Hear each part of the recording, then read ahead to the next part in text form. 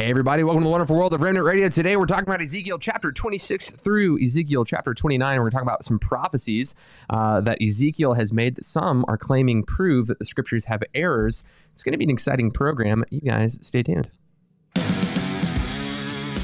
You are watching The Remnant Radio, a crowd funded show where we interview pastors, teachers, historians, and theologians from different churches and denominations. My name is Joshua Lewis, and this is my co host, Michael Rowntree. Together, we want to help you break outside of your theological echo chambers. If you're interested in learning about history, theology, or the gifts of the Spirit, this is the show for you. Very exciting program today. It's speci- specifically important to us, not just because of inerrancy, but because of the gift of prophecy. Did Ezekiel miss a prophetic word? And does that question whether prophets can miss it in the Old Testament? This came up in a discussion we had uh, prior to the filming of this video. Uh, it was on air. You guys got to see that discussion, and we kind of had some disagreement. We were kind of like riffing on the fly on whether Ezekiel actually missed it or not. And the question was brought up well, if Ezekiel missed it, doesn't that question the inerrancy and sufficiency of Scripture? So we'll be tackling both of those questions. Can Old Testament prophets miss it? Does Ezekiel display an opportunity for Old Testament prophets to miss it? And additionally, if he did miss it and he attributed this word as a word from the Lord, then doesn't that mean that the Scriptures are inerrant or that they have an error that they're not inerrant? Anyway, all that to say, it's going to be an exciting program. We'll be touching on all that today and giving you six different ways that you can be interpreting uh, Ezekiel chapter 26 through 29 and, in, this kind of prophecy. But before we do, I want to remind you that Remnant Radio is entirely crowdfunded. If you want to support the channel, you can do that. There are links in the description. You can give a one time gift on PayPal, or you can be a reoccurring giver on Patreon. Low as five bucks a month, you'll get access to extra content. Without further ado, the fellas. Fellas, how are you guys doing? Doing well. Yeah.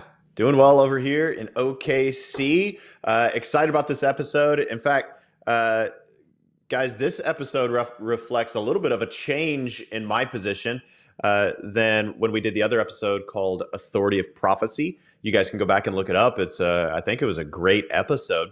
Uh, but the the issue arose about, uh, as as Josh said, whether Ezekiel missed it in chapter 26. And I leaned toward him missing it, and uh, and I gave some reasons for that, and we'll we'll unpack that a little more as we go. Uh, but Josh actually pushed back, gave us gave a little challenge, and I think that represents kind of what we're about here at Remnant Radio. We want to debate, but debate is a way to get to truth.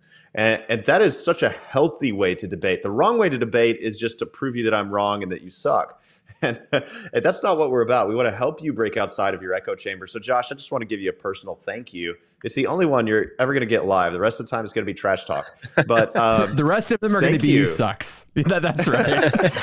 for pushing me outside of my echo chamber because I actually came to Josh's side on this after a little bit of extra study. So, uh, but but that's that's a big part of what Remnant Radio is about. Miller, uh, I know we talked to you a little bit about uh, about this. I know you're kind of excited about this episode too. You want to talk a little more about that? Uh, yeah. I mean, I think um, I don't know if I've made a big shift on it. I don't. I don't necessarily. My my shift on the Old Testament prophets and whether or not they can make mistakes or not uh, hasn't necessarily shifted. Whether what I feel about this particular passage has been sort of an up in the air. Maybe he missed it. Maybe he didn't. Uh, and I think I, you know, even after going through all of this, I'm still in that undecided space. So uh, I yeah, I am excited about this episode for that reason. But I also I love what this episode represents eh, eh, and what you've already discussed that we actually are pushing each other. I think I've learned more from from having these kind of conversations forced on us because of the podcast uh, than I have in in many ways uh, just from being a pastor. So it's been a lot of yeah. Uh, good pushback. Cool. Well, we're gonna cool. we're gonna be touching on some relevant text, tw- uh, Ezekiel 26 1 through 12, and Ezekiel 29 17 through 21. Miller, if you want to start reading with us, we're actually or reading for us. We're gonna have uh, the scriptures on screen for people who want to follow along. Miller, you ready? Yeah, let's do it. Dope. Okay. Start in verse 1 right there. Verse 1. Okay, there you go. In the 11th year, on the first day of the month, the word of the Lord came to me, Son of man, because Tyre said concerning Jerusalem, Aha, the gate of the people is broken it has swung open to me. I shall be replenished now that she is laid waste. Therefore, thus says the Lord God Behold, I am against you, O Tyre, and I will bring up many nations against you, as the sea brings up its waves. They shall destroy the walls of Tyre and break down her towers, and will scrape her soil from her and make her a bare rock. She shall be in the midst of the sea, a place for the spreading of nets. For I have spoken, declares the Lord God, and she shall become plunder for the nations. And her daughters on the mainland shall be killed by the sword Then they will know that I am the Lord. For thus says the Lord God Behold, I will bring against Tyre from the north Nebuchadnezzar, king of Babylon, king of kings, with horses and chariots, and with horsemen and hosts of many soldiers. He will kill with the sword your daughters on the mainland. He will set up a siege wall against you, and throw up a mound against you, and raise a roof of shields against you. He will direct the shock of his battering rams against your walls, and with his axes he will break down your towers. His horses will be so many that their dust will cover you. Your walls will shake at the noise of the horsemen and wagons and chariots when he enters your gates as a man enters a city that has been bre- breached. With the hoofs of the horses, he will trample all of your streets. He will kill your people with a sword, and your mighty pillars will fall to the ground. They will plunder your riches and loot your merchandise. They will break down your walls and destroy your pleasant houses, your stones and timber and soil. They will cast into the midst of the waters. Okay, so that's the the first passage there, uh, and then we also need to look at chapter twenty nine. Give me a second to scroll there. Uh, da, da, da, so that's Sorry. a prophecy against Tyre. Yeah, that's right. That yeah, that's cool. I, Rowntree.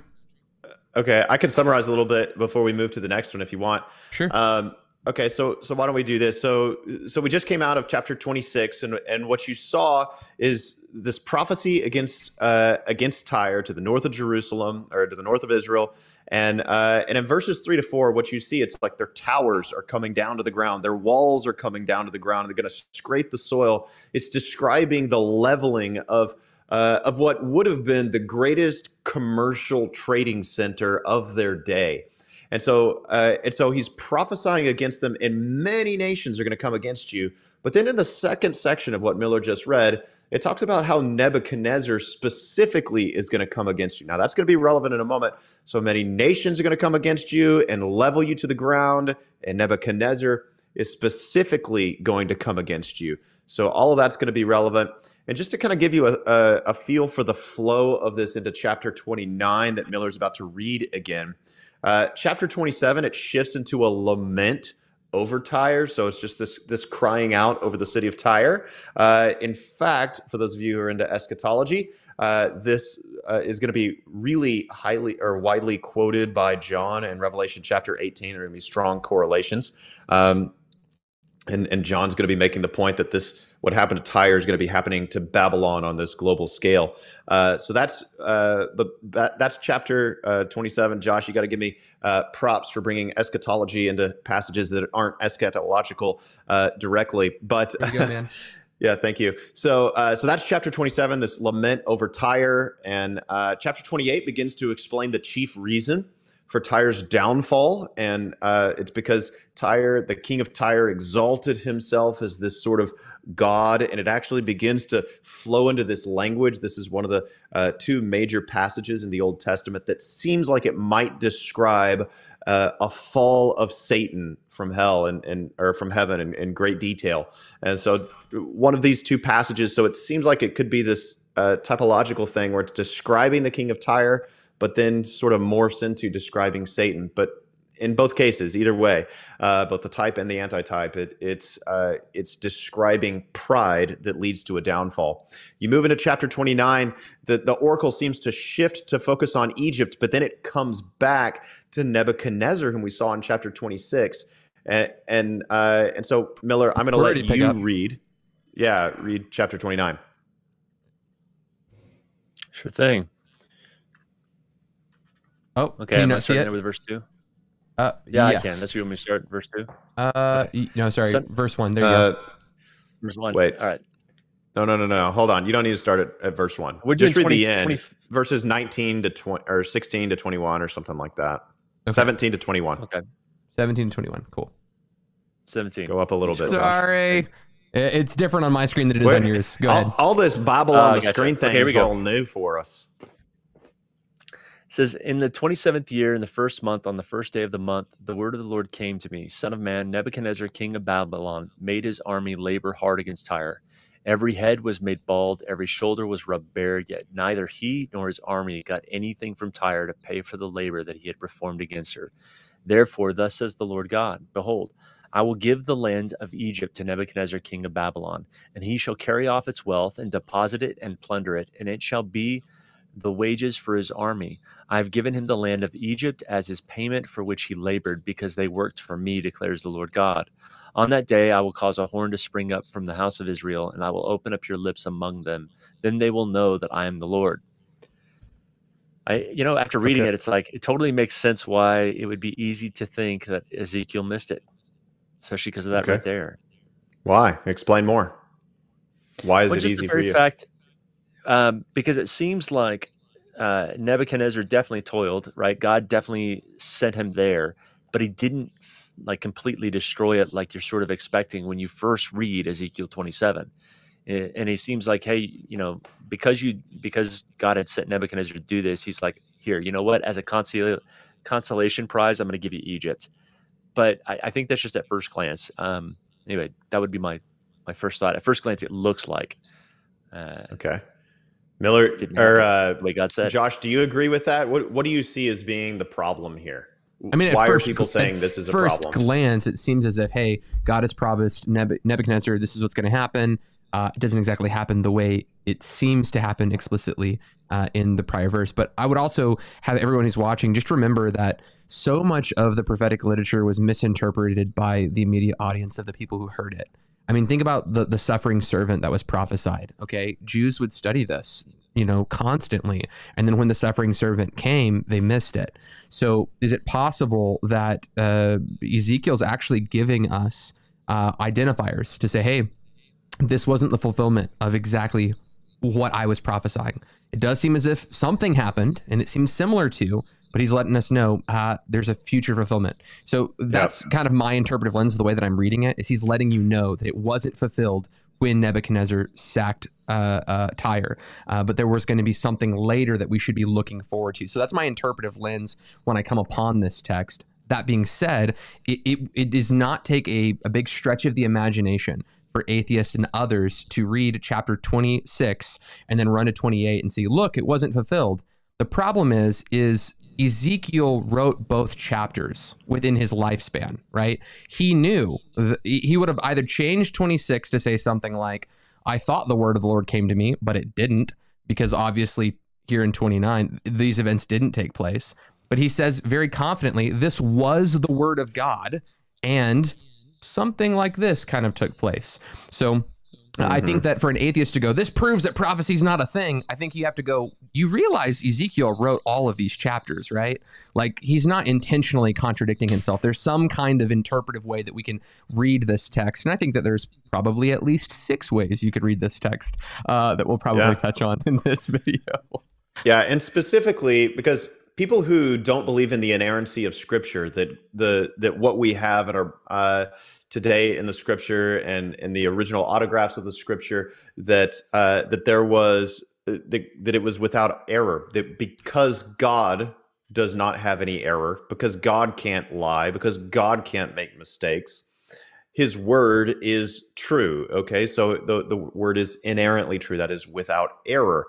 And so those who oppose the doctrine of inerrancy, the specifically what they point to in this passage is that number one, in chapter 26, it seems to say that uh, that Nebuchadnezzar and the nations are going to plunder uh, Tyre. But then when you get to chapter 29, he says, well, Nebi, Nebuchadnezzar, since you didn't get the plunder, well, I'll just let you take some from Egypt instead because you were kind of doing my work. You're my instrument of wrath against Tyre. And so I kind of wanted to pay you back a little bit with plunder, and Tyre didn't really provide that. Uh, so why don't you go over here and take some from Egypt? Uh, and so the inerrantists look at that and they're like, oh, well, I mean, if that's what's happening, then the Bible's full of errors, and this is one of thousands of them. Okay. The other point they'll make, besides the point about plunder, uh, which we're going to come back to in our six interpretations of this passage, that uh, that all fit within the scope of uh, believing that the Bible is truly inerrant. Okay. The first is the plunder issue. The second is the issue of how destroyed did Tyre get uh, by Nebuchadnezzar's hand? And the uh, the people who oppose us and believe the Bible is full of errors, they say, well, it seems like uh, Ezekiel prophesied it was going to be leveled to the ground, and in truth, it wasn't really leveled to the ground.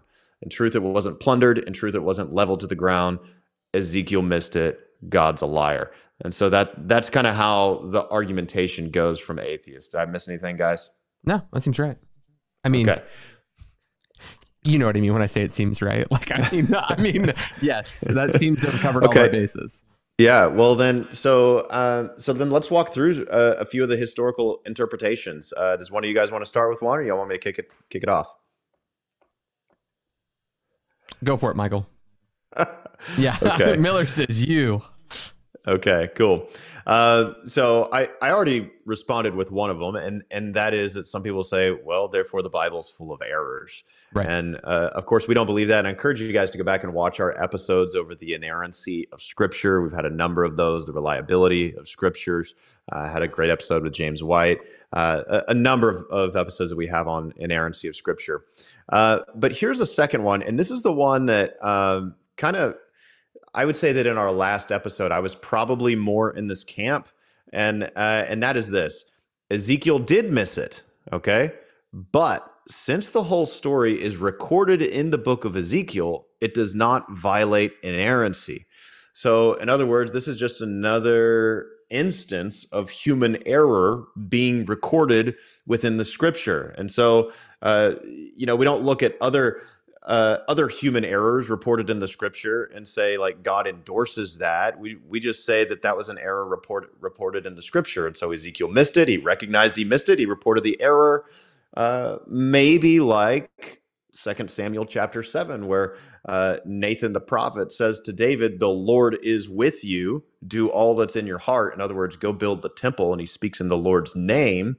And then the Lord rebukes Nathan later that night in a dream and basically says the Lord is not with him. It's going to be his son Solomon that builds the house. Okay, so it, this appears to be, and we can revisit this later if we want, a missed prophecy by Nathan in the Old Testament. But since it's recorded in the canon of Scripture, that that doesn't mean that God made a mistake or God was a liar. It simply means that the prophet missed it, and we learn from his mistakes because it's recorded in God's inerrant word. And that is where I did stand on this before, but it's not where I stand anymore. Now, I, I think it's a little bit where, yeah, go ahead. I'd be Josh. curious. I pushed back a little bit on this because of the way it was recorded, right? Because in 26, it recorded it saying the word of the Lord came to Ezekiel. And I, I would mm-hmm. saying that if this was, um, if this was really the word of the Lord, it would have, it, or if this wasn't the word of the Lord, if this this was uh, Ezekiel misinterpreting something, I think it would have been recorded as such. Um, mm-hmm. Instead of placing the emphasis on 29 and saying, oh, this proves that he missed it, I was saying that Ezekiel would have changed the wording of 26 to indicate that. Uh, you know, I thought the Lord had said, or something to that effect. Uh, not that we have examples of this in scripture in other places, but it would seem contradictory for in one place Ezekiel to be claiming this was a prophecy from God Almighty.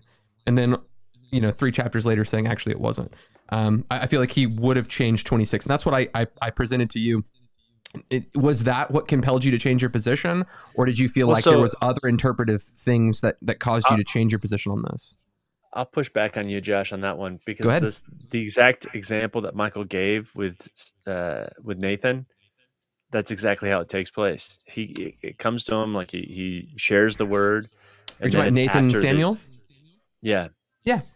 Well, yeah, see, the thing is, is uh, that word, it never, and that's what most of what I pushed against Michael when we were on our, we actually drove to Kansas and talked about this passage quite a bit.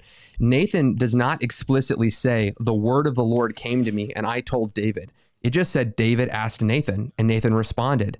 He went away and came back and then said, no, the Lord has not spoken. The first account was not recorded as the word of the Lord came to Nathan and he told David, build the house.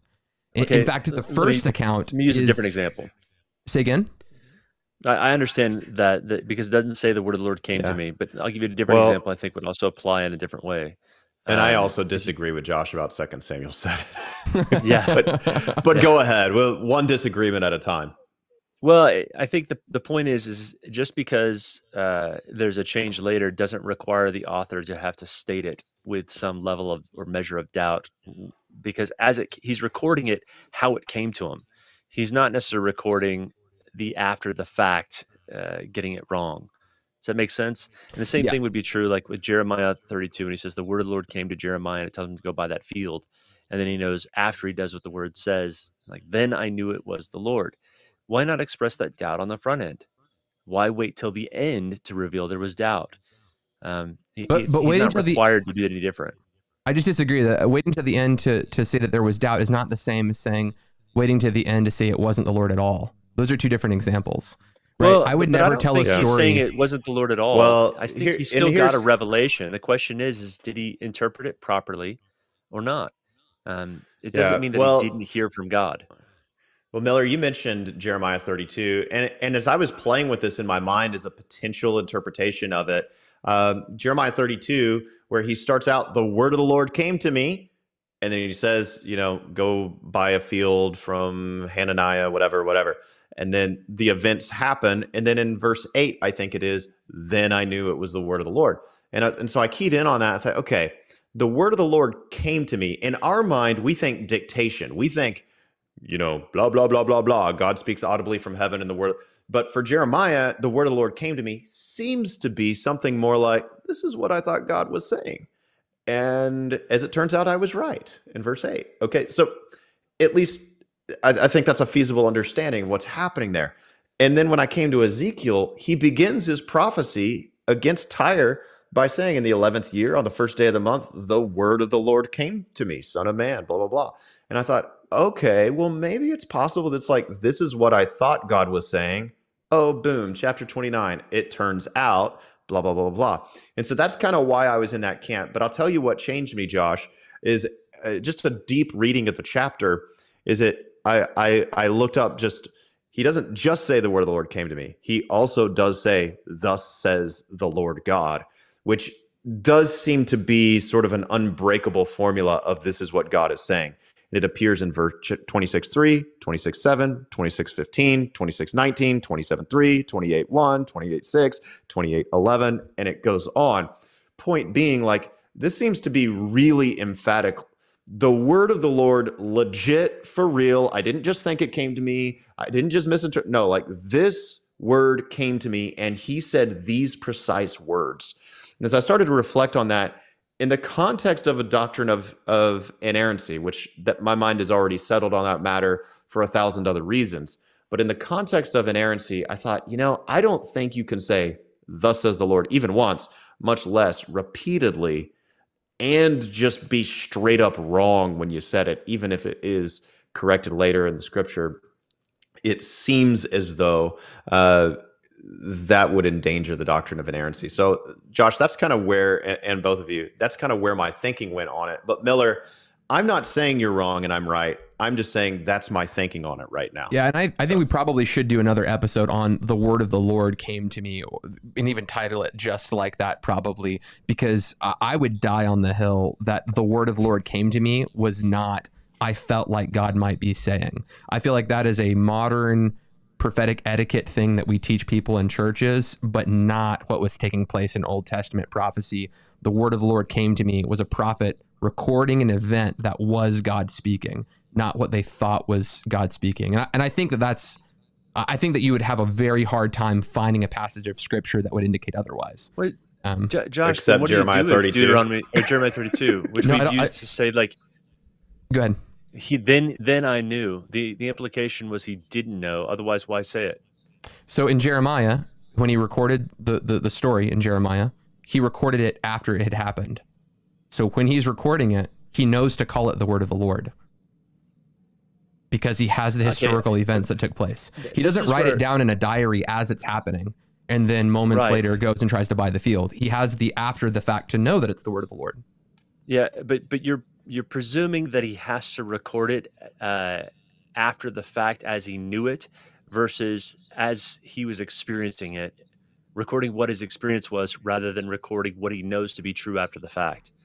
Does that make sense? No, it makes Yeah, sense. I, just I, th- don't I think, it's that indecisive. take I think that it can go either way. I do understand Right. it Miller's way, but I I've heard you doesn't have that to. I before, wouldn't Josh, die and on I, hill. I think that's yeah. I don't think it's so strong as die on a hill. I mean, I in fact take it the opposite way as you, Josh. But um, yeah, I don't think that's die it's a on bloody a hill, hill, territory. guys. But but either way, there are many other. uh, I mean, there are other passages that would seem to suggest that you can miss a prophecy. Now, uh, in the Old Testament, that you can miss a prophecy and not be called a false prophet.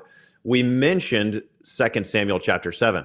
Now, Josh, you're making a lot of the fact that that Nathan didn't say, Thus says the Lord. That's when right. he said, The Lord be with you. I make less of that than you did because the point of the passage is still he missed it. Um, Right. He missed it speaking in the name of the Lord. Uh, in fact, I mean, it's around verse four or five. I'm not going to take the time to turn to it right now because I it's, it's a fast paced show. But um, it, it begins with what we call an adversative, the word but. But then God spoke to him and said, Thus That's says right. the Lord, I'm going to do this. So the point of the passage is actually Nathan for sure did miss it. And, and the question is, what is it? Is it Nathan speaking as Joe Sixpack, just hanging out with David, shooting the breeze one day, talking about what he should do? Or did Nathan miss it as a prophet of the Lord, the court prophet, who uses Yahweh's name and says, Yahweh is with you? And it's his literal job description prophesy to the king about what you should do. I'm going to go ahead and call that prophecy and a, mi- and a missed I'm- prophecy. I'm calling it prophecy and a missed prophecy too. oh, amen. We agree. But the scripture is not recording it as the word of the Lord. And I think that's where I'm making a bigger deal out of it.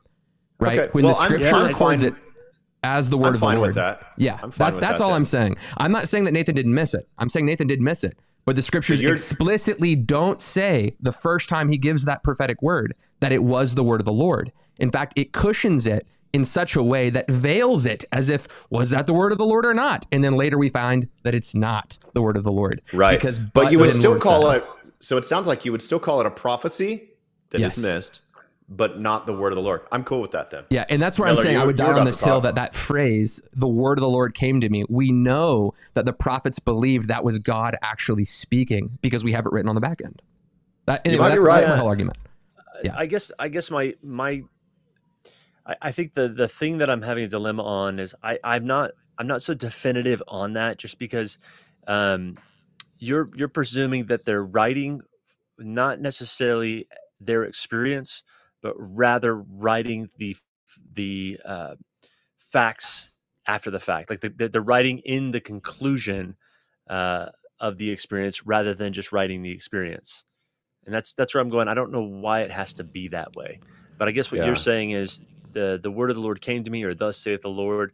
Those two phrases are meant to imply the after the fact. Yeah, They- you know what this would be worth this was. doing, and and we should do this anyway. Uh, Josh, we'll do that episode. Uh, let's let's do it soon, and uh, we just need to do a search on every reference in the Bible to the word of the Lord or the word of the Lord came to me, and kind of see how this bears out. I think it'll it'll tell us the answer. Yeah, Um, let, let's keep pressing through. Um, I, I shared one. So we've talked about, well, maybe Ezekiel really missed it and God's a liar and his word isn't true. Okay. That's Nobody agrees with that. Right. Okay. Number two, Ezekiel missed it, but it's recorded within inerrant scripture as a lesson for us about prophecy. Okay. Josh and I are a no on that. Uh, Miller is a maybe, maybe not. Okay. Now, number three, Ezekiel just straight up didn't miss it. He actually nailed it with his prophecy. Well, how could somebody say that he ma- nailed it with this prophecy? Because Tyre wasn't destroyed as conclusively as he said, and because Nebuchadnezzar didn't get the plunder, and God had to send him to Egypt in order to get the plunder. How could you say that Ezekiel nailed it? Josh, why don't you give us a theory for how he might have nailed it? You, Sure, you already is- touched on this once. This is my opinion. I, I believe this is the one that's right. And there's four different ones in this category that he actually got it right. There's four different ways I think that you could you could come to the conclusion that he got it right. Uh, the one that I hold personally is that there was a partial fulfillment that took place with Nebuchadnezzar and a future fulfillment that took place with Alexander the Great. In fact, there is some language that takes place um, about the towers and I mean the walls and the towers being pulled down. Um, specifically, Alexander the Great rips down the wall of Tyre and tosses it into the ocean because Tyre is like it's got part of this. Uh, part of Tyre is uh, you know. Uh, a part of kind of Middle Eastern continent, if you will, uh, but then the other, I say not the Middle East is a continent, but you know what I'm saying. Uh, then there's a there's a a, a, a, a, a, body of water that separates this island of Tyre. So Tyre has got this mainland location and a kind of island all on its own. Well, uh, Alexander the Great knocks down this wall and tosses the stones into the sea and kind of builds like this uh, this uh, highway, if you will, this road to get to Tyre, the the uh, uh, the island. I don't know why I'm having a problem with my words. Anyway, so they they cross over and they fully destroy Tyre at a later date. So I think that there's a partial fulfillment. We see this throughout um, Old Testament prophecy. Um, you see partial fulfillments taking place at a given moment, and then later fulfillments taking place later. Um, I think you can look at Joel chapter two, saying that there's a partial fulfillment that took place in Acts two, but then you have this also blood, fire, vapor of smoke, the moon's being turned to blood red, the great terrible day of the Lord. Part of it was fulfilled in Joel chapter two, but the rest of it uh, takes place throughout the period of time we're in now until the appearing of our Lord, the eschaton. So, in one single prophetic word, it was partially fulfilled on Acts 2, but is being fulfilled until the return of the Lord Jesus. Another example would be in Isaiah, where uh, Isaiah prophesies to a king, Oh, you don't want a sign? Fine, I'll give you this sign. A virgin shall conceive, right? Um, that account doesn't fully take place. That sign doesn't take place until many, many, many years later. But there was a partial fulfillment of that prophetic word to the ears of that king in that very moment. Now, again, I, I would say in both accounts, both in Joel and uh, the pro- prophecy to the to this king in Isaiah that I referenced in both of those accounts, it appears as if that prophetic word is a is a one singular moment in time. However, the biblical authors show us that this is actually a period of time that we weren't quite seeing uh, explicitly when the prophetic word was first given. So when I read uh, uh, the partial fulfillment view, I go Ezekiel didn't miss it. Uh, it was partially fulfilled in Nebuchadnezzar and fully fulfilled in Alexander the Great. Those are my thoughts. Yeah, uh, that's great, Josh. And I think that's a really good possibility. And I'm going to be a little bit agnostic on which of these solutions uh, actually is the solution. And, here's what's great because uh, when it comes to like the response of the one who believes in inerrancy, it, it's ideal if it's not like a grasping for straws to try to make this work so I can keep believing the Bible. No, like these are actually really good solutions. Josh, what you proposed is a really good solution to this potential problem. And uh, and I think Here's another one, and this one was presented by Mike Winger in uh, in one of his videos. Mike Winger has been on the show. Encourage you to go go back and watch Mike Winger's uh, episodes that he's done with us, as well as his channel, uh, phenomenal channel, great researcher, and and. Uh, what he's going to point out is what we might call the different pronouns view, and has nothing to do with like pop culture and what's happening today. But uh, I have, way, I have, have your pronouns noticed, up there, Michael, for display. I, have always called Nebuchadnezzar a shim. Is that not what you're supposed to do? Jeez, bro. he he Shem them. yeah. Have you ever noticed, like, I, I don't know, I'm on Twitter barely, but I am. I'm actually trying to do better about it. But um, have you ever noticed how everybody who's deconstructed has pronouns in their bio? I'm like, hmm, that's mm. kind of interesting. Okay, so um, Let's let's go to Josh. You can if you can make it go up a little bit to um, verse five. Okay. I want to show you something. Okay, so he's just finished saying in verse four, they'll destroy your walls, O Tyre, and break down your towers and scrape you to the bare rock. And then verse five, uh, she shall be in the midst of the sea. This is Tyre, a place for the spreading of nets. For I have spoken, declares the Lord God, and she shall become pl- plunder for the nations. Now, that could be important because in chapter 29, if you remember, the adjustment was Nebuchadnezzar. Hey, Nebuchadnezzar, you didn't get plunder from Tyre. Okay. That, it, but chapter 26, the original prophecy, it seems possible, was actually about the nations will get plunder, that it was never intended to mean that Nebuchadnezzar himself specifically would get plunder. And so this is possibly not a contradiction. This could be reinforced by a shift in the pronouns in the text. And that's what I do like about this view uh, as a possibility. I'm not saying it's my view, I don't know, but I do like it as a possibility because it, it seems to, rather than try to explain away a problem, to actually explain the text. Why does he use different pronouns here? And, uh, and it could be just a stylistic variation. That's a possibility but it, it seems like it could be more. Uh, so if we keep reading, I'll just pick it up in verse 10. It's he started addressing Nebuchadnezzar specifically. He's gone from addressing the nations plundering Tyre, and then he's talking about Nebuchadnezzar being a major part of this raid. Verse 10, his Nebuchadnezzar's horses will be so many that their dust will cover you. Your walls will shake at your Tyre. Walls will shake at the noise of the horsemen and wagons uh, and chariots. When he when he Nebuchadnezzar enters your gates as a man his men enter a city that has been breached with the hooves and horses. He will trample all your streets. He will kill your people with the sword, and your mighty pillars will fall to the ground. Verse 12 They will plunder your riches and loot your merchandise. They will break down your walls and destroy your pleasant houses, and, and so on. And then from there on, it's they, they, they, they, they.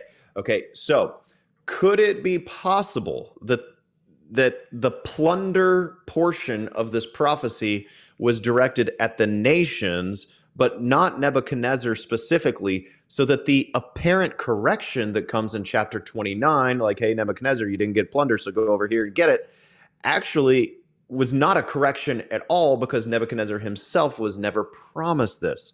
Now, it's not conclusive because sometimes there can be a variation for stylistic reasons. Uh, it's all part of the same passage. It it just seems to flow that maybe he's implying that Nebuchadnezzar should have gotten plunder. That's certainly a possibility, but I think a pretty strong case can be made Mike Winger's case can be made, and it is made by many scholars uh, that you know what this is a the Nebuchadnezzar portion of this prophecy. He was never promised that he would get plunder, and so that could be one explanation call it the and pronouns theory let me let me push back on the pronouns theory not just because i'm really conservative okay um, but uh, i reached out to my friends over at kairos uh, classrooms uh, they they support the show. I put links in uh, the video uh, for Kairos Classroom. So if you want to learn Greek and Hebrew, it's crazy uh, inexpensive. You go check it out. There's links in the description. You go check out their classes.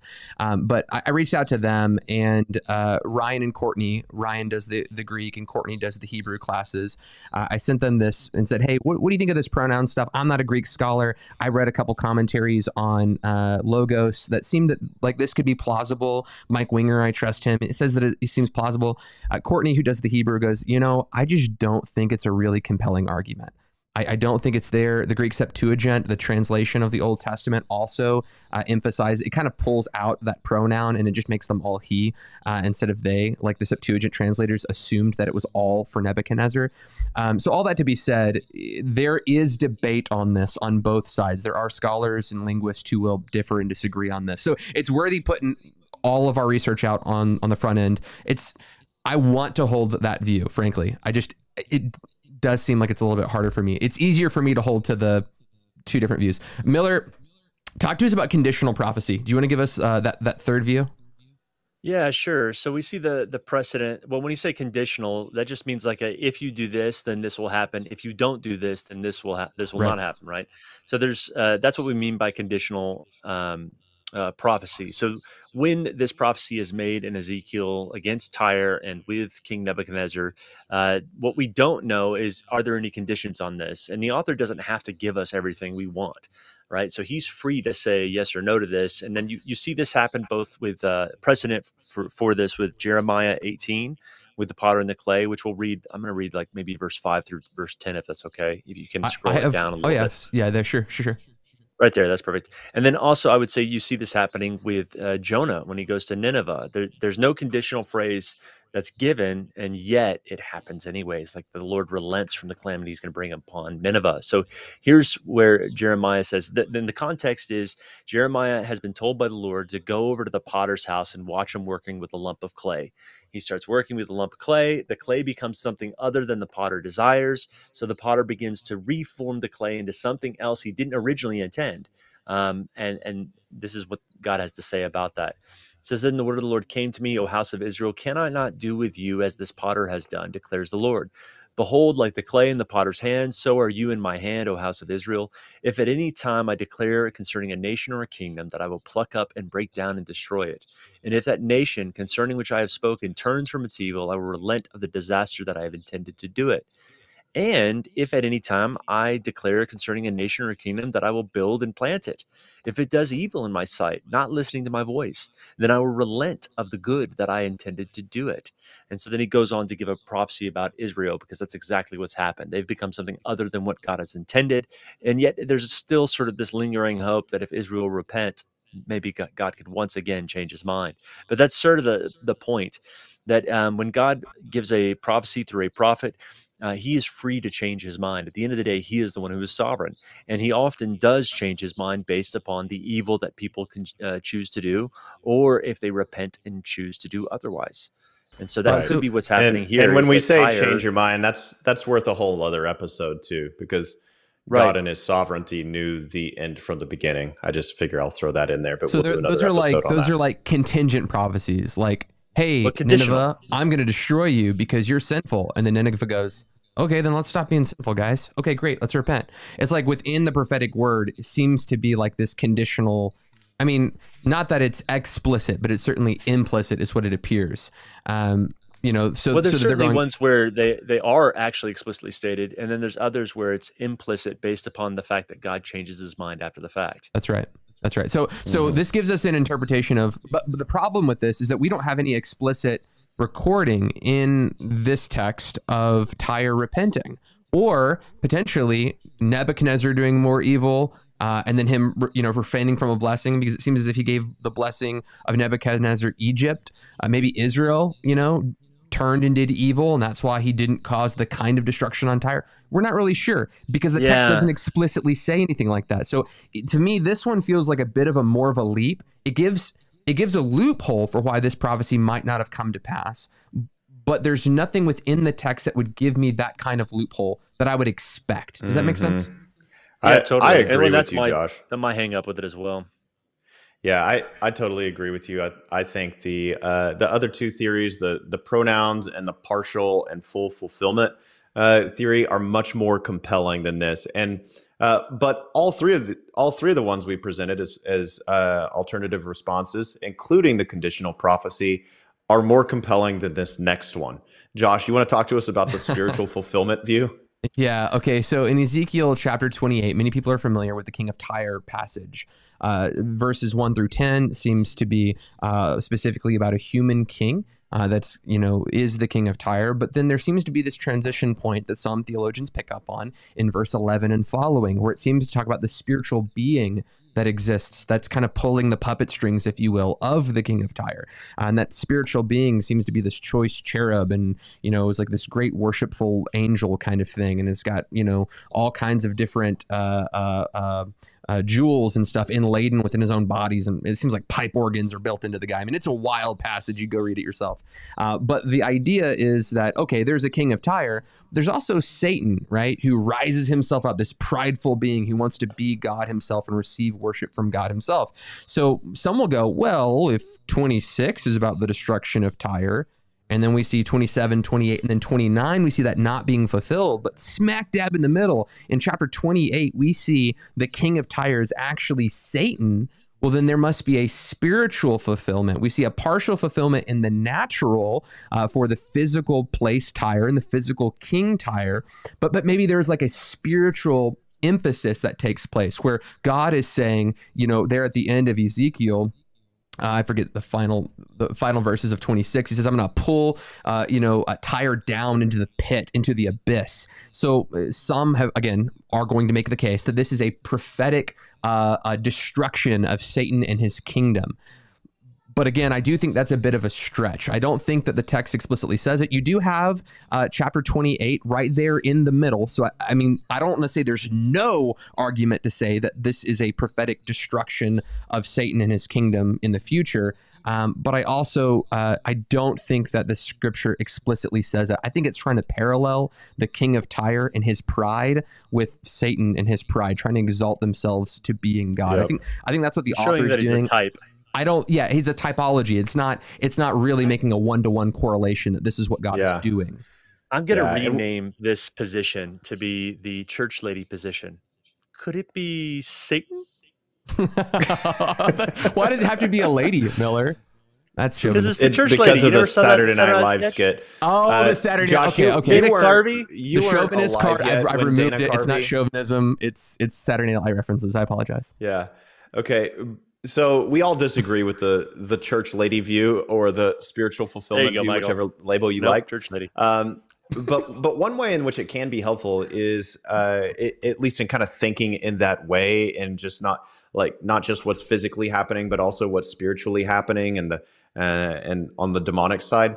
One one way that this could be uh, helpful is is specifically the claim in, in chapter 26 where where it seems to describe a total leveling of Tyre to the point where it will never rise again. There there will no longer be a Tyre. Okay, which doesn't seem like it could be true, and this could be. Uh, There's no I- way it's I- true. I- I've got four tires on my car right now. There you go. So, Josh, you're so good. Um, but uh, you know, Jesus, Jesus will say, like, you know, he'll talk about Tyre and Sidon, and like these were cities in Jesus' day, and yet it was leveled in Alexander the Great's day. It was kind of leveled in Nebuchadnezzar's day, and so some people will say, well, look, it, it wasn't leveled beyond anything. It it, it uh, still exists, but uh, specifically on the language of uh, 26, I think it, uh, I think it's around verse four. Um, where it talks about how you'll like be buried in the abyss, the seas, that that kind of language. Um, here's a comment. Uh, here is a commentary on Ezekiel 26, 19 to 21, uh, focusing specifically on this language of like you'll never be inhabited again, you'll be lost in the depths of the sea. It says Tyre's descent into the underworld uh, describes as Tyre's descent into the underworld. In highly figurative language, the island city of Tyre is pictured as submerged beneath the waves of the sea. But these become the waves of the mythological cosmic flood, the waters of chaos, uh, which have engulfed her at last. Similar language is used of Egypt in uh, chapter 31, verses 14 to 18, chapter 32, verses 13 to 32, and Isaiah's taunt song over the king of Babylon also des- deserves comparison. The passage gives the impression that the pit, which is identical with Sheol, is the place of no return and utter lostness. There is no hope of resurrection, simply a murky, continuing existence along the people of old, among the ruins of the past, a dreadful end indeed. And uh, and this kind of touches even on so it goes into sort of spiritual, but also even figurative language to describe what's happening in Tyre. And again, this is not an inerrantist's grasping at straws. This is ridiculously common in prophetic language to speak in figurative ways. And so I I, I think that um, that that's a an adequate explanation and maybe even I would say the best explanation for the description that Tyre is lost into the heart of the sea and never to be never to And recover that Those are verses that it's speaking what was the language we used before the show? I think prophetic hyperbole was the way that we described it. Yeah, and I think uh, Michael, you might have said those are in verses four, and there are some like sea-like languages in verse four, but that specific commentary was off of verses 19 through 21. Um, I'll make the your city uh, uh, laid waste, like the cities that are not inhabited. When I bring up the deep over you, and the great waters cover you. When I'll make you go down uh, to the, uh, I'll make you go down with those who go down to the pit, uh, to the people of old, so forth and so on. That that specific passage, 19 through 21. Um, but That's yeah, right. no, I, I think that uh, that is you, you mentioned in your eschatology squirrels, Michael. Uh, if you want to, I mean, this is probably a great time too. Do you have some comparative verses that give some like biblical smack talk? Because we, we see this a lot of the times, like with uh, like uh, pre-trib, post-trib guys, like historic premill guys. They'll say that there's a tribulation that's coming on the earth that's never come before and will never come and has never come since, or something like that. Uh, uh, will never come after. It- that kind of language is actually used throughout the prophets, and it's just hyperbole. It doesn't actually mean there's never been a tribulation like this before. Um, can can you Uh, maybe yeah. in a literal literal sense? Right. Well, a number of times in the Exodus, I, I have some verses here. Exodus nine eighteen. Behold, about this time tomorrow I will cause very heavy hail to fall, such as never has been in Egypt from the day it was founded until now. That sort of formula, uh, such as has never been before uh, until now, or sometimes will never be again. It says the same thing about locusts in Exodus ten fourteen. Uh, this Exodus 11, 6, there shall be a great cry throughout the land of Egypt, such as there has never been nor ever will be again. Same thing in Joel chapter 2, verse 2. Same idea in Ezekiel 5, 9. Same idea in Daniel uh, Daniel 9, 12, Daniel 12, 1, which is the famous Great Tribulation passage. And then Jesus uses it in Matthew 24, 21 to say, From then on, there will be great tribulation, such has not been from the beginning of the world, from now on, no, and never will be. So, uh, so this you know, if we take it in a purely literalistic sense, then uh, then we would have to understand. Well, uh, there's only there's one great tribulation at the very end of time, and that's exactly what Jesus is talking about. A, a preterist is going to come in, or a partial preterist, I should say, and they'll say, "Well, this is this is hyperbolic language that occurs again and again throughout the Scripture, and it just is meant to say this is going to be a really really crazy bad tribulation." Now. I'm not going to give my position now because I'd, I'd have to defend it and really walk through some stuff. But uh, my, my point is that prophetic hyperbole is a thing. They do use it, and Ezekiel seems to be a case in point of that. So, uh, is that what you were looking for, Josh? That is exactly what I was looking for. Uh, and you know, honestly, I I want to just give you. So you complimented me at the top of the show. So I want to compliment you Oh, wow. now for I the restraint that you just Record gave this. to not unpack your whole eschatological position ten minutes before the show's over. Because I know you could have It and would did have require restraint, And It I really just I want to I want to just commend you for not chasing that Thank you. eschatology squirrel. Dude, this is Well the best done. show ever. We're like patting each other's back and encouraging one another. We're actually acting like Christians for once. What's really funny is people don't know that we have a live Google Doc and we're talking trash to each other in the Google Doc. I know. I was literally right now as trying- we're talking. I was literally trying to ignore your trash talk while that you were typing at me while I was talking. I'm pretty sure that was me. oh, okay, that was Miller. Okay, now let, guys, let's. Um, so we walked through the different views: the the partial fulfillment view, the different pronouns uh, view, the conditional prophecy view, and the spiritual fulfillment view. Um, I In think- addition to the other two the, that you missed, that he actually missed it. In right? addition to that, right, that he actually one that he missed it, but since it was contained within inerrant scripture, uh, it's a lesson for all of us, and the totality of it is still inerrant. Or he missed it, and God's a liar, which of course is a lie and hogwash. So, um, anyway, if I had to pick one, man, I think it'd be a toss up between partial fulfillment and different pronouns view. I could I could go either way. Um, so, I mean, the the the Kairos goes, guys you talked about, uh, they they say that the Hebrew um, doesn't lend itself to the pronouns view, and they actually cited the Septuagint, which I looked up while we were while we were talking, and it was accurate. The Septuagint does not shift pronouns in that. So.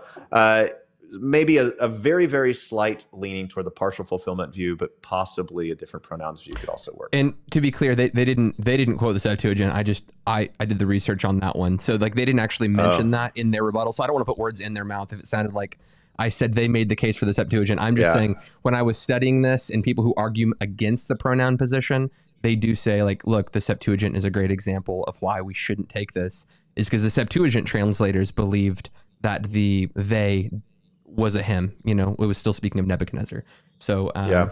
Yeah. And if you don't know what a Septuagint is, it's the Greek translation of the Old Testament. So normally we're working from the Hebrew and what's called the Masoretic text. Uh, but often in New Testament times, they'll quote from the Septuagint, which was the Greek translation.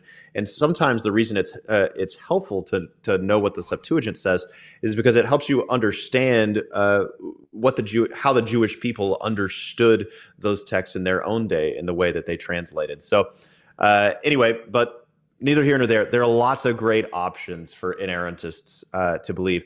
Uh, Miller, why don't we bring this back to you and uh, you can kick us off because I think it's about time to, to close out the episode. Help us understand why this is important on the uh, kind of leaving beside leaving aside the inerrancy conversation. Why is this important from a prophecy perspective? Specifically in your understanding about the nature of prophecy and how it works today and in ancient times. Yeah, so it just depends if you want to like. There's wide disagreement. We've done a lot of videos on this on already on whether or not uh, there is any difference between Old Testament prophets and New Testament prophets, or does the the gift of prophecy does it change between the Old Covenant and the New Covenant? And I've made the argument in past episodes that yeah, there was a change, but not in the nature of prophecy, but rather in the frequency of prophecy and who all the who all gets the spirit of prophecy. Um, so when you go to like Deuteronomy 18, um, where it talks about a prophet like me, if he says something, it doesn't come to pass, don't be afraid of him. Um, there's this sense in which you're supposed to stone a person or kill a person if they get the word wrong. And we've made the argument in the past that in, in Deuteronomy 18, that's spe- uh, referring specifically to an eschatological figure that's like Moses. And we would say that, that Jesus is the one who fulfills Deuteronomy 18. Um, now, many other people today, including, uh, well, I mean, you know, Justin Peters and I think some of the others out there that are cessationists would say that, hey, if a prophet gets it wrong, that prophet is supposed to be stoned, and and they'll quote those passages. And we, and we on the show, for the most part, I think Josh, you're in agreement on this. That Deuteronomy 18 is not referring to just any old prophet. Right. Um, but, but the reason why this is so important is we actually think there are examples in the Old Testament of prophets getting it wrong, and it's recorded uh, for our sakes, so that we would also know that that prophecy is errant, the scriptures are not. That there's two different standards for. Yeah, uh, and when you say prophecy is errant, you- when it comes to prophecy, the prophetic scriptures themselves being the uh, only one inerrant, and prophets giving a prophecy errant, unless it's recorded in Right. scripture. So Right, but you and when you say don't know if I- I prof, don't yeah, and when you say prophecies are errant or can be errant, just to clarify for anyone out there, uh, what you're not saying that the original revelation from God was errant. You're saying that by the time that person actually shares that prophetic word, it can be lost in interpretation and application somewhere along the way. So it's like when you're driving, going through a drive-through, and you're like, wait, what did they say, right? And so it can be lost in translation, so to speak. But Miller, I don't. You're. I know that you're not saying God in His original revelation is errant. We would say He's always inerrant in what He says, but sometimes we miss it, and us missing it, dating all the way back to Old Testament days, does not automatically label one as a false Yeah, prophet. Miller for sure. exactly believes what I that. meant. Okay, okay. I was about to say your headphones died. It's what you texted us. So I don't know if you heard that, but that. yeah, yeah, yeah. no worries. Uh, yeah. So, so that's that's really important to mention uh, that um, when we talk about the pr- prophecy being misunderstood, we also believe that prophets can not hear from God at all and think that they're hearing from God and and misspeak on that ground as well. Uh, one of the I, I got to teach. Uh, really odd uh, uh, for me, but I got to go back to the Southwest Assemblies of God uh, yesterday, and I got to preach to like a, a big youth conference there, and I got to teach on on prophecy. So I got to talk about one of the things we talked about was John uh, chapter twelve, where uh, Jesus prays this prayer: "Hey, Lord, glorify your name," and the Father speaks from heaven, "I have glorified it, and I'll glorify it again." And the voice is audible from heaven. And some people said it thundered. Some people said it was an angel, and yet John records it as the voice of God. So not only is it like not the internal audible voice that we typically hear, you know, in the scriptures that we see in the scriptures, you know, the word of the Lord came to Elijah or Elisha while all these other kings were there. They didn't hear the word, but it came like internally. He received this word. Um, Mhm. but this was an audible word and then the people around misheard and misunderstood the word so so that's to to Mil, to Rowntree's point of interpretation but we also think that today someone can believe that they're hearing from the lord and it not just be them misinterpreting they might just not be hearing god at all um, that's also a, a possibility within that interpretive Certainly. process Yeah, and I want to come back to Miller's uh, point about Deuteronomy chapter 18. Uh, and, and we've given our our understanding of that. I think that's talking about a national figure. Someone's giving national prophets. I don't think it's talking about every everyday prophets like the uh, few dozen of them that were hidden in a cave by Obadiah in 1 Kings 18. I don't think Deuteronomy 18 means everything they ever said uh, when they prophesied was automatically accurate. I, I think he's giving us how do you know it's the Messiah? How do you know it's the prophet? And um, Deuteronomy 13 is a companion passage to that. Josh, I don't know if you have these verses. It doesn't matter either way. I, I'm going to read uh, chapter 13, verses 1 to 5. I want to read these, and um, and then I want to read a commentary that makes the point that we're making. The point being that written revelation trumps spontaneous revelation every time.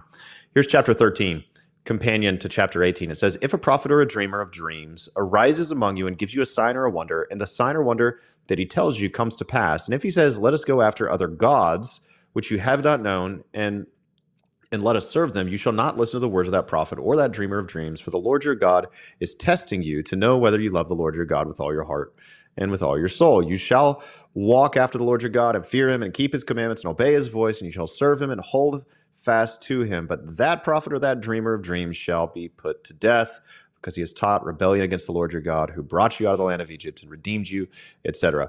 And so you shall purge the evil in your midst. So, companion passages to chapter 18. Uh, both of them deal with uh, with somebody who, well, in Deuteronomy 18, it's somebody misses a prophecy, and I do believe, even though it says you shall not be afraid of him, I do believe that, uh, or that he shall die. I think he's talking about like they shall be put to death, chapter 18. Uh, but in chapter 18, he will talk about like uh, I think around verses 15 and 17, if I remember right, um, that he speaks presumptuously. It's in the context of leading after other gods, this false messianic figure. Now we get to chapter 13 in the companion passage, and this time instead of missing the prophecy, he actually gets the prophet prophecy right. It comes to pass, and he performs signs and wonders to validate it. and he's still a false prophet. Why? Because once again, this is how you know what a false prophet is. Uh, you know the false prophet because they're leading you after other gods. Now, here's why that's significant for us Deuteronomy 13, verses 2 to 6. Um, I actually got this quote from our friend Dawson, who, who does some research for us here on Remnant. Uh, but this comes in a, a, commentary on the book of Deuteronomy uh, by uh, Jeffrey Tigay. And uh, here is the quote. I just want to read it to you. Uh, he says the first case, Deuteronomy 13, is one in which the instigator's proposal is hard to resist because he seems to have divine authority for what he proposes. Uh, you know, every, what he said is right. He performs signs and wonders. Moreover, from verse 6, it appears that he even claims that the proposal comes from the Lord himself, not another God. So he's actually trying to use Yahweh's name. The law puts a rational limit on the authority of prophecy and miracles it indicates that the prohibition against worshiping other gods is an absolute, an eternally binding principle, and that even prophecies and seemingly miraculous proofs to the contrary are to be disregarded. Keeping in mind that a prophet is God's envoy, uh, it is noteworthy that in Hittite in a Hittite treaty, the suzerain tells his vassal that when he sends him messages, uh, there is a discrep and there is a discrepancy between the written text of a message and the oral version given by his envoy. The written message is authoritative, and the envoy is not to be believed.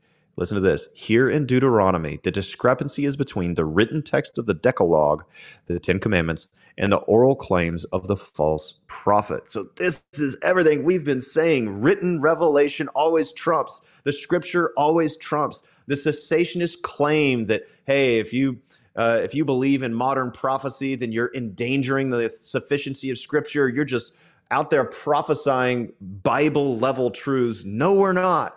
Old Testament, New Testament, we always weigh it by the word, to the law, and to the testimony. That is where we go. We go to the scripture. 1 Corinthians 14 37. If anyone is a prophet or thinks he is a prophet, let him acknowledge that what I say to him is the Lord's command, apostolic, uh, the apostolic word always trumps the prophetic word, and we have the apostolic words preserved for us in Scripture. Guys, uh, prophecy does not endanger the Scripture. No, it is because of what the Scripture says that we pursue prophecy, that we eagerly desire spiritual gifts, especially the gifts of prophecy. So we have it right here in Deuteronomy 13, Deuteronomy 18. Guys, I don't know. I I need to get off my my soapbox, but Miller, Josh, you guys can say something, but I don't know. I felt a little fire in me on that one. Jace. when you monologue and I just say yes. You ever see that episode of The Office where these are the uh, Lord's chips? Yeah, when Michael, where when uh when uh, uh David Wallace says this this long phrase to Michael or something like that, like he's talking about replacing someone in in corporate, and Michael's response was, "Let God speed you on your quest." David Wallace says, "Yes." It's so Josh, my fa- Josh, my favorite is when I get fiery and then like you're clearly ready to move to the next point, and you say, "Wonderful." Wonderful. the most insincere yeah, that's great. Uh, and moving on. Uh, I like it when you start talking like a lot, and then I just mute you. I'm like, that's enough. That's my preferred transition. Oh, man. Okay, guys, here's well, the thing. We're we're at 504. We're going a little bit over today. Uh, do we have any kind of closing thoughts? Do you guys have anything you want to say to wrap up? Because I think then we kind of gave our position. Ezekiel yeah. 4 isn't prophecy that was missed. That being said, I think that we have theological precedent that we can miss prophecy. We've talked about that in other videos. We had a nice little bow tie there at the end uh, of this program. Uh, I think Ezekiel didn't miss it. Uh, but I do think that there are ways that we can interpret Ezekiel's prophecy that makes sense of why in chapter 29 he says, "Hey, uh, Nebuchadnezzar didn't get the spoil, the plunder." Uh, anybody have any closing thoughts that they want to they want to chat it up before we close everything yeah. out?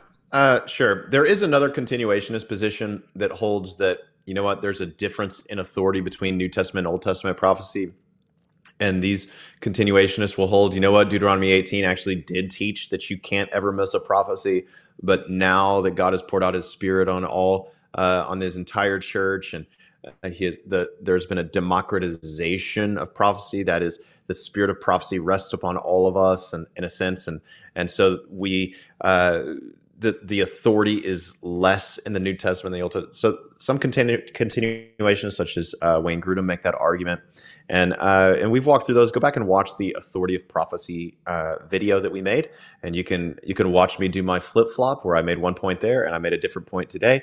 But um, anyway, it was actually a fantastic episode. So I encourage you guys to go back and watch that and hit the subscribe button uh, because also on Tuesdays we have the Kansas City Prophets series and uh, Jeez, you don't miss that. episode. Yeah, first episode released last week, and it's phenomenal. And we talk about a lot of these issues; they just keep coming up. Miller, any closing thoughts for you? Miller, you got anything you want to add? No, Yeah, no, wonderful. good. I think, yeah, fun episode. I'll say. I still want to come down to the uh, figure out, Josh, more about the phrasing "Thus saith the Lord" or "The word of the Lord came to me," saying, and how Yeah. that guarantees that it's not they're not not about to give an errant word. No, I think that would be a wonderful uh, show, probably for the future. Um, yeah, when it's recorded in Scripture, if it says it's the word of the Lord, I think it probably is. Um, yeah, I, I'd be I'd be thrilled to to set up a show, and maybe we'll do that in the near future. I know we've talked about doing some shows next week. We're potentially talking about doing uh, a show on idols. Uh, like in your home, those things can they can they give you some bad uh, voodoo? We talked about pastors transitioning their churches uh, from uh, you know cessationist church, try to you know start moving them, transitioning them into the gifts of the Spirit. So I mean, we might even do a public vote. We just t- toss it on Facebook and have people Yeah. engage on what they want to do. Since we have so many show ideas and only one Wednesday in a week, uh, so yeah, we'll see what happens.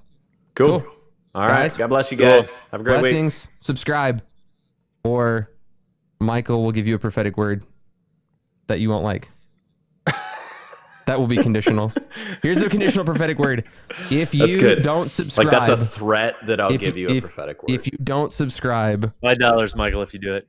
God, God, God, Trump will be president.